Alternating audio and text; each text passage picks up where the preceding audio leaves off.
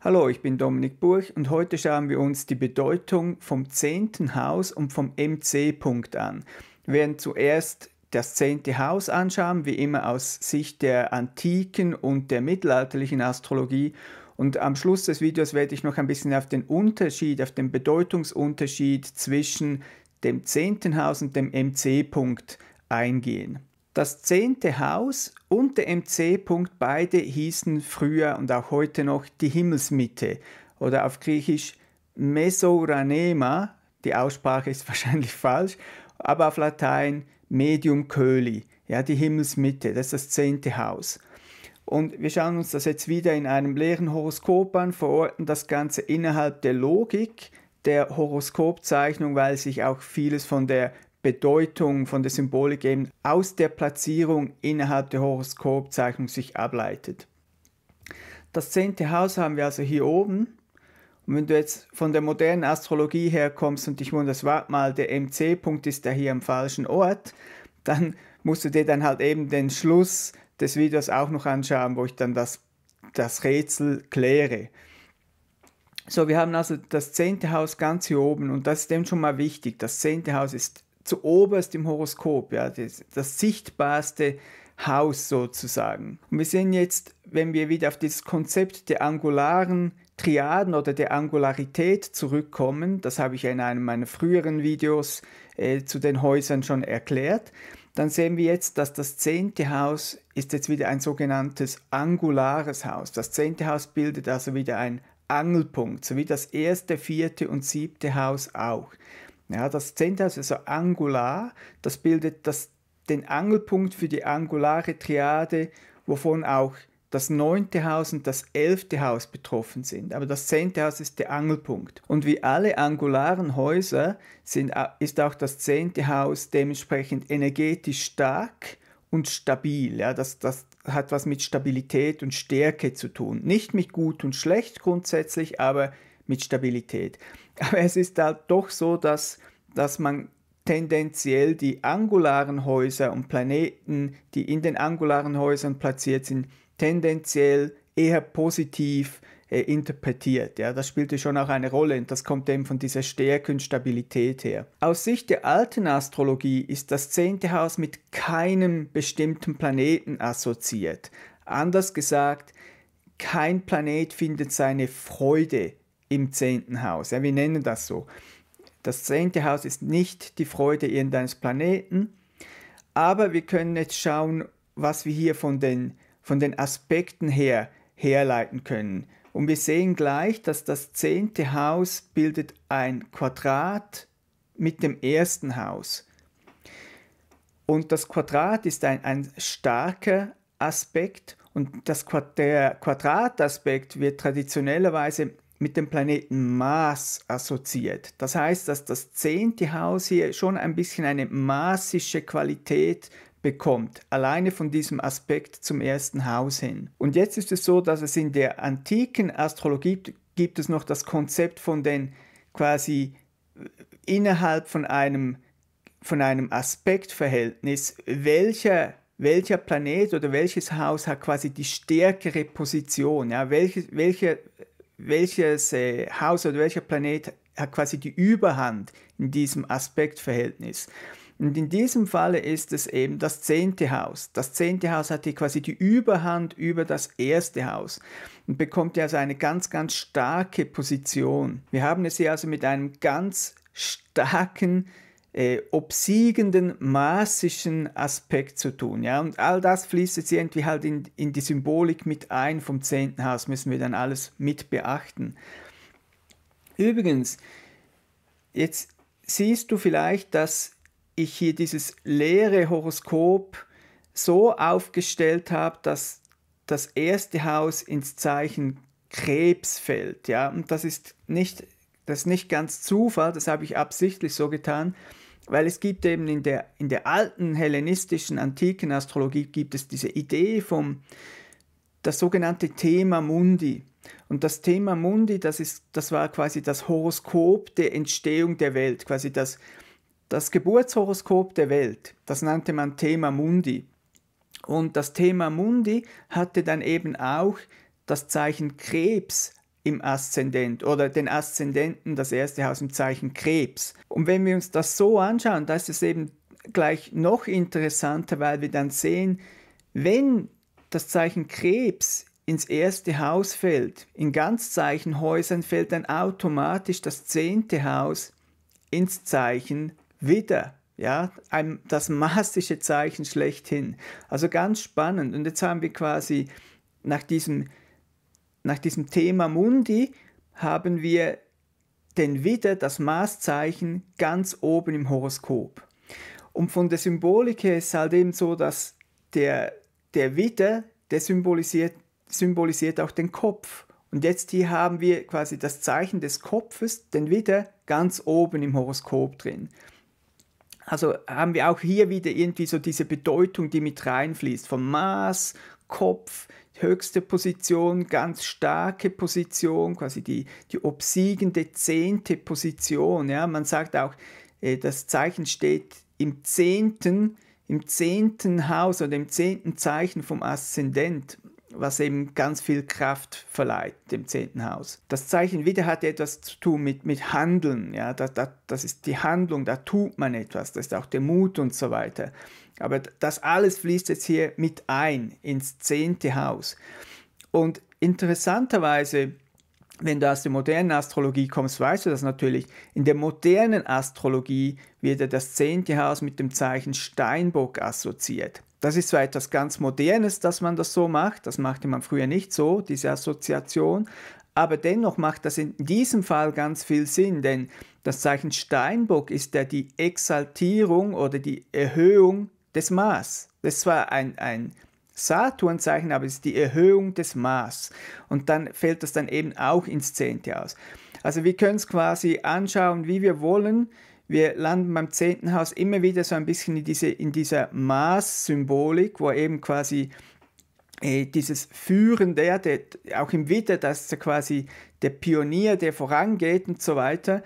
Und dann haben wir eben diese Qualität von, von Handlungsbereitschaft, von Tatkraft und so weiter und zugleich auch so ein bisschen eine, eine Anführung, so eine, eine führerische Führungsqualität, sagen wir mal. Das alles fällt ins zehnte Haus und das alles färbt dann quasi die Symbolik vom zehnten Haus. Und dann, wenn wir uns quasi einfach so ganz allgemein das, das Horoskop so ein bisschen abstrakt uns anschauen, dann sehen wir eben gleich, dass das zehnte Haus ist das höchste Haus im Horoskop, das ist am weitesten über dem Horizont und ist somit auch irgendwie die Sicht, das sichtbarste Haus, das prominenteste Haus von allen Häusern. Und dann letztlich müssen wir immer auch das Achsenverhältnis äh, mit beachten und wir sehen hier ja, dass das zehnte Haus offensichtlich eine Achse mit dem vierten Haus bildet. Und beim vierten Haus, da habe ich ja bereits ein Video dazu gemacht, beim vierten Haus haben wir gesehen, da geht es um quasi Familie, Heim und so weiter, Herkunftsfamilie, das, das eigene Land, wo man drin lebt oder drauf lebt und so weiter. Das vierte Haus hat was ganz Privates an sich, ja, das, das ist sehr privat und das zehnte Haus bildet quasi dann komplementär den anderen Pol dazu, das ist quasi das öffentlichste Haus, das sichtbarste, am wenigsten private Haus. Aber dennoch müssen wir wie immer aufpassen, denn die Bedeutung hier auch hier vom vierten Haus kann dann mit einfließen ins zehnte Haus. Das haben wir bereits bei den anderen Häusern auch so gesehen, dass wir immer die Bedeutungen des gegenüberliegenden Hauses mit beachten müssen, weil die immer auch präsent sein können. Und so ist es auch im zehnten Haus. Da haben wir immer auch ein bisschen potenziell Bedeutungen vom vierten Haus mit drin. Und aus diesen verschiedenen Puzzleteilen, die wir jetzt hier quasi zusammengesammelt haben, kommen jetzt so zwei zentrale Bedeutungsfelder, die sich da ein bisschen herauskristallisieren. Das eine ist mal was, alles, was mit, mit ähm, Sichtbarkeit zu tun hat, der Prominenz, Sichtbarkeit und so weiter. Und das andere Themenfeld, das wir hier haben, hat was mit Handlung zu tun, ja, mit äh, Tun, Handeln, Wirken und so weiter. Und das hat ja, wie wir gesehen haben, diese Verbindung zum Maß. Und wenn du jetzt ein bisschen handeln möchtest und den Maß glücklich machen möchtest, dann gib durch diesem Video einen Daumen hoch und abonniere diesen Kanal, falls du das noch nicht getan hast. Und dann wirst du auch immer wieder solche Videos sehen, äh, wo, wo wir dann quasi in die Ursprünge der Astrologie gehen und, und die Astrologie ein bisschen aus einem anderen Blickwinkel als gewohnt betrachten. Wenn du das spannend findest, ja, bleib, bleib diesem Kanal treu, abonniere, Daumen hoch. Und dann ist nicht nur der Mars, sondern auch der Dominik glücklich darüber. So, somit haben wir alle wichtigen Elemente, aus der sich die Symbolik ableitet, gesammelt und können nun endlich in die eigentliche Symbolik und Bedeutung eintauchen. Wie wir gesehen haben, ist ein wichtiges Bedeutungsfeld des zehnten Hauses alles, was mit Handeln, mit Tat, mit Tatkraft, mit Wirken zu tun hat. Und auch früher wurde das zehnte Haus dementsprechend oft Praxis genannt. Ja, das Wort Praxis bedeutet eben Handeln und Tun und so weiter. Also das, das ist ganz zentral hier im zehnten Haus. Anders gesagt, das zehnte Haus zeigt uns an, was wir in der Welt tun, was quasi unser Beitrag zur Welt ist, zur Gesellschaft, aber zur Welt auch ganz, ganz allgemein gesprochen. Äh, welche Wirkung wir in der Welt haben, könnten wir auch sagen. Das ist das zehnte Haus. Heutzutage definiert sich das natürlich ganz, ganz stark über, über die Themen Karriere, Beruf, Berufung und so weiter, die dann entsprechend auch mit dem zehnten Haus assoziiert sind.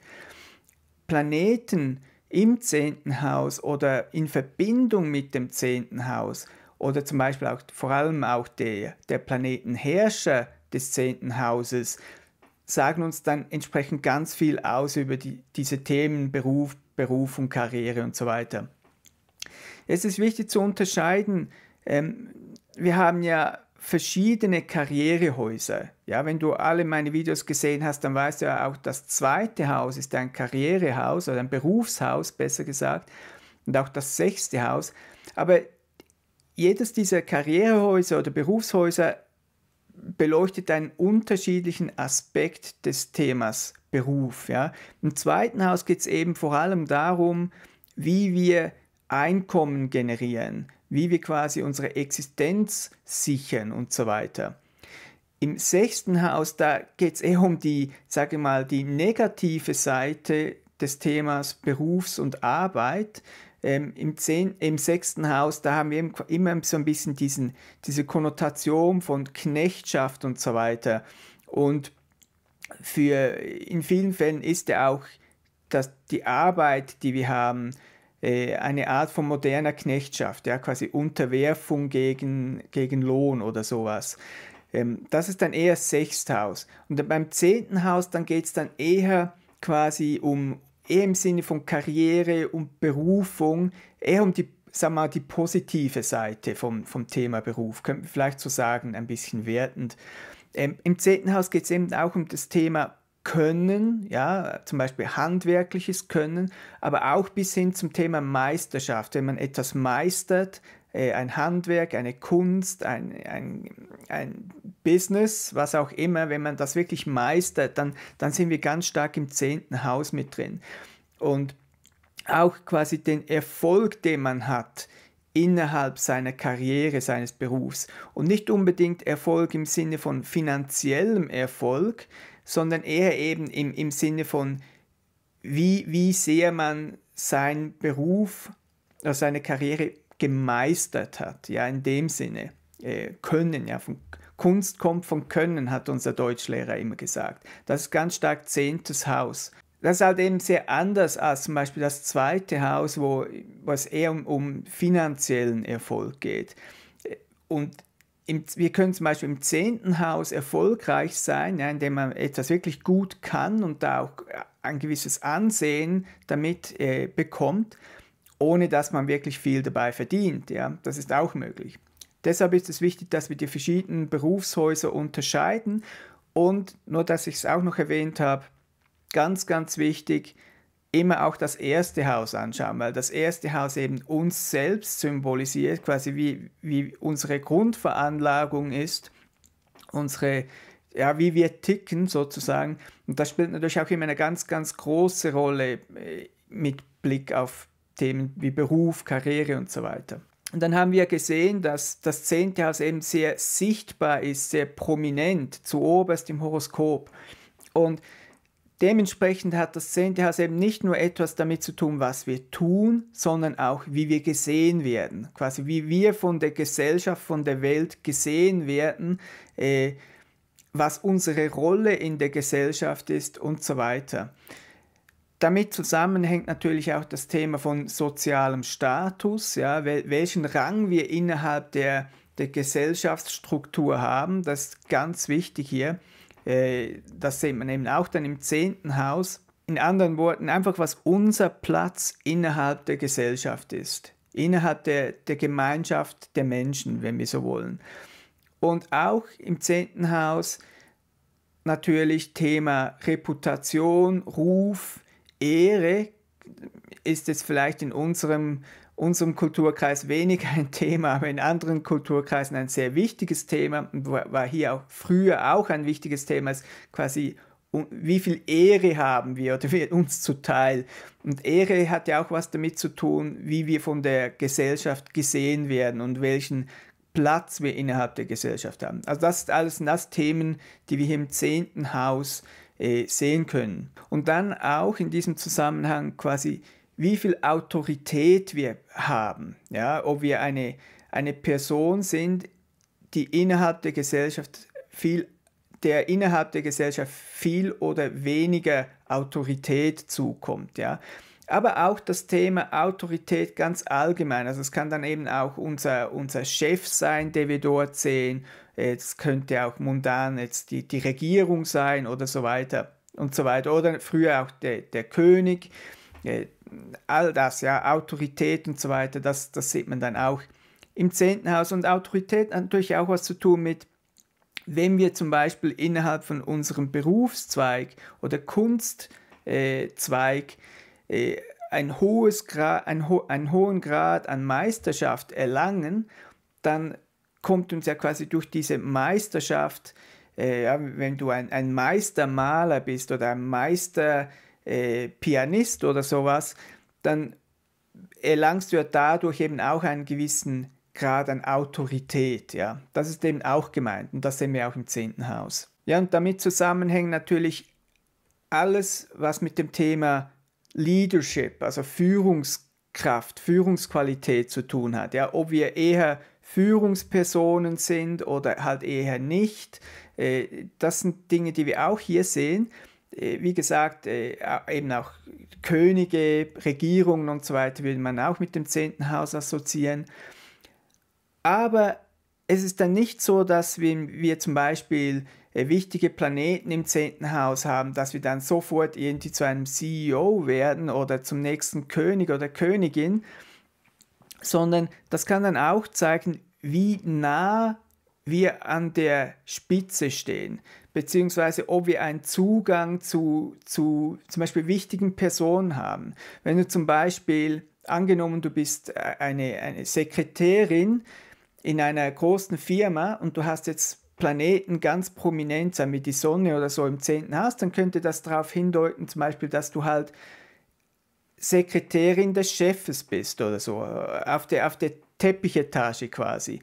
Also es zeigt nicht unbedingt an, dass wir selbst diese Führungsposition innehaben, aber dass wir vielleicht einfach nah dran sind an diesen Führungspositionen. Ja, es, es zeigt einfach so eine energetische Qualität an. Die ist nicht immer auf uns persönlich bezogen.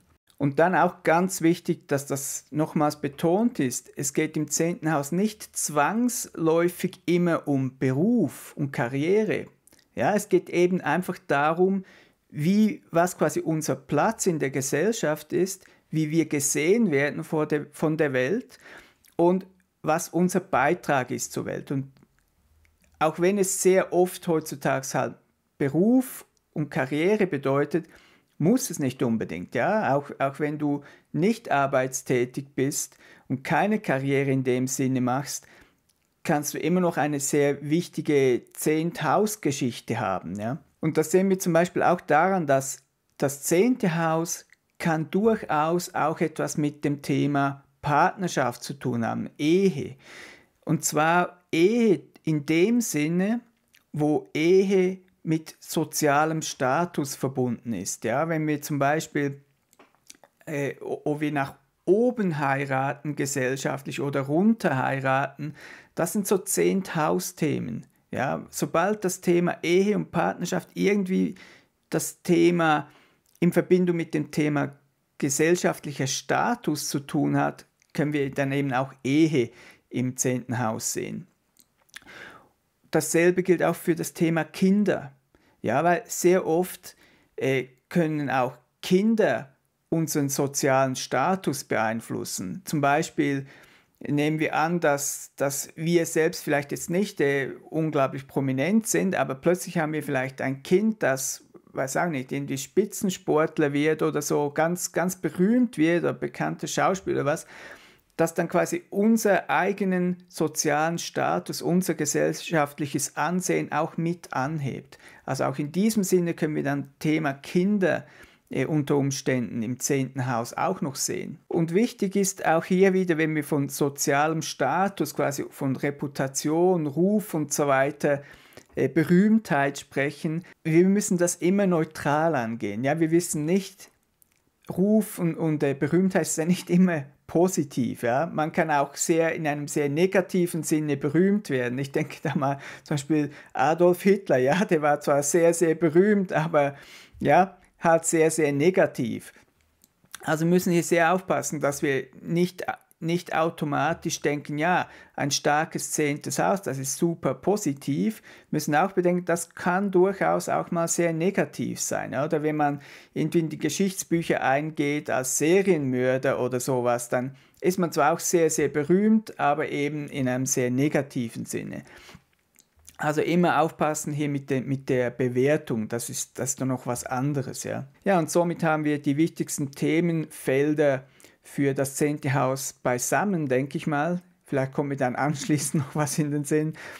Aber wie, wie, versprochen möchte ich jetzt noch zum Schluss auf die Unterscheidung zwischen dem zehnten Haus und dem MC-Punkt eingehen.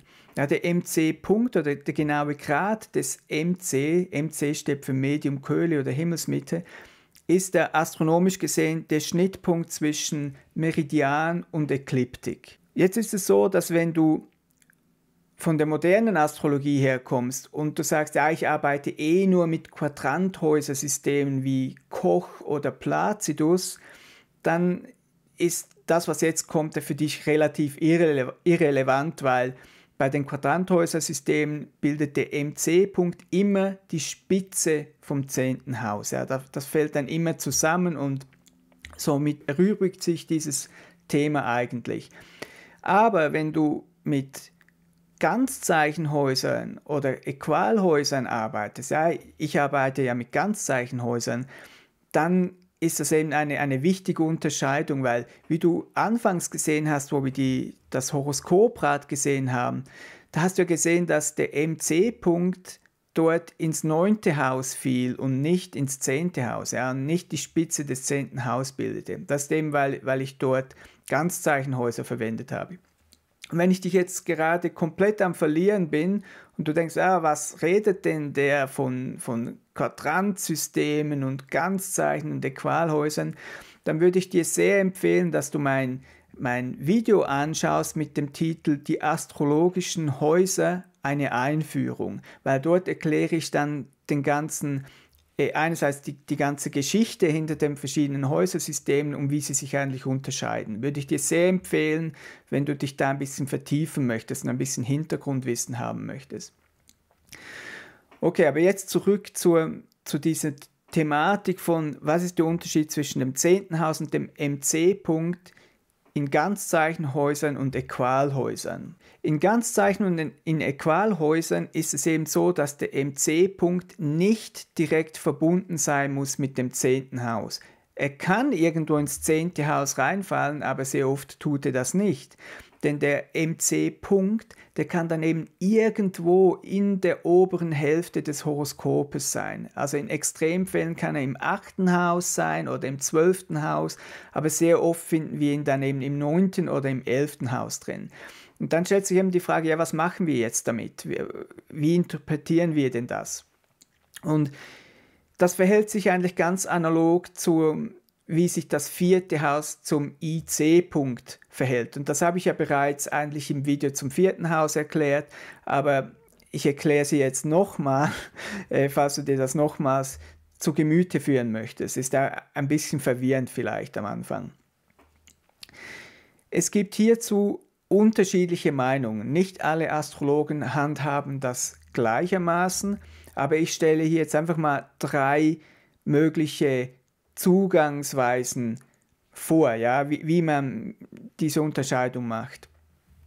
So ein, eine Methode, die von traditionellen Astrologen oft verwendet wird, ist, dass man sagt, der MC-Punkt importiert quasi die Symbolik des zehnten Hauses in das Haus, wo der, der MC-Punkt reinfällt. Also wenn der MC-Punkt zum Beispiel im neunten Haus ist, dann bekommt das neunte Haus zusätzlich zur Neunthaus-Symbolik dann eben auch noch Zehnthaus-Symbolik. Ja? Und wir haben dann immer noch das zehnte Haus. Das heißt, also wir haben quasi wie zwei Häuser, die das zehnte, Zehnthaus-Thematik beschreiben.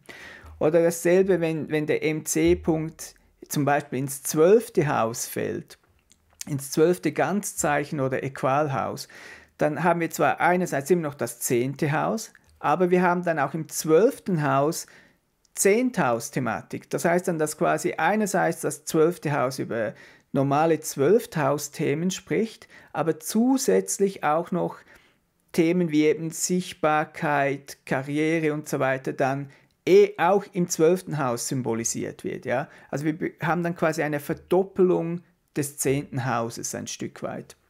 Also das ist der erste Zugang. Der zweite, die zweite Methode, wie man das interpretiert, ist, dass man sagt, der MC-Punkt ist quasi einfach ein sensitiver Punkt, so etwas ähnliches wie ein Fixstern ja, von der Idee her, der irgendwo in der oberen Hälfte des Horoskopes ist und dann, wenn Planeten nah an diesem Punkt sind, ja, und dann kann man dem Punkt ein Orb geben, dann sagt man vielleicht drei Grad vor und nach dem MC-Punkt, das ist dann so diese sensitive Zone, dass wenn Planeten oder Transite nah an diesem Punkt sind, dass sie dann eben Zehntausthemen aufgreifen können. Ja, das heißt zum Beispiel, wenn dein MC-Punkt, sagen wir mal, ins elfte Haus reinfällt, dann hast du natürlich immer noch das zehnte Haus, ganz normal, mit den Zehnthausthemen. Aber wenn jetzt zum Beispiel ein Planet im elften Haus drin ganz nah an diesem MC-Punkt dran ist, dann bekommt dieser Planet eben zusätzlich zur Elfthaus-Thematik auch noch Zehnthaus-Themen mit. Ja? Also quasi einfach so als, als sensitiver Punkt. Das ist sein zweiter Zugang. Und dann eine eine dritte Sichtweise, die von manchen Astrologen äh, vertreten wird, ist, dass der MC-Punkt nichts mit dem zehnten Haus oder Zehnthaus-Symbolik zu tun hat, sondern einfach als ein energetisch ganz, ganz starker, freischwebender Punkt im Horoskop ist, wo, wenn ein Planet Kontakt macht mit diesem Punkt, ja, in Konjunktion geht mit diesem MC-Punkt, dann wird einfach die die Symbolik des Planeten selbst wird dann ganz, ganz stark betont, ja, bekommt ganz viel Kraft, ohne dass jetzt hier irgendwie 10.000 Symbolik mit reinfließt. Also in diesem dritten Ansatz ist der MC von der Bedeutung her dann wirklich komplett losgelöst vom zehnten Haus. Also das gibt es dann auch. Ja, ich persönlich verwende ein, eine Art Kombination von diesen drei Ansätzen. Ja, man, man kann die auch kombinieren. Und nebst diesen drei Ansätzen gibt es sicher auch noch andere, ja, die, die kenne ich entweder nicht oder habe sie vergessen oder kommen mir dann nachher noch in den Sinn. Wichtig ist einfach zu sehen, dass wenn du traditionelle Astrologie betreibst und Ganzzeichenhäuser oder Äqualhäuser verwendest, dann musst du eben unterscheiden zwischen dem zehnten Haus und zwischen dem MC-Punkt. Wenn du Quadranthäusersysteme verwendest wie Koch oder Placidus, fällt diese Unterscheidung weg, dann spielt es keine Rolle, weil der, der MC-Punkt immer die Spitze des zehnten Hauses ist. So, ich weiß, das ist ein bisschen kompliziert, vor allem wenn man das hier so verbal irgendwie verstehen sollte. Ähm, ist aber nicht so tragisch. Ja? Da braucht es einfach ein bisschen Zeit, da muss man ein bisschen dran, dran rumknobeln und dann begreift man es dann. Und äh, ja, das war mein Video zum 10. Haus. Ich hoffe, es war interessant. Und bitte Daumen hoch, Kanal abonnieren und dann hoffentlich sehen wir uns dann im nächsten Video. Tschüss, vielen Dank.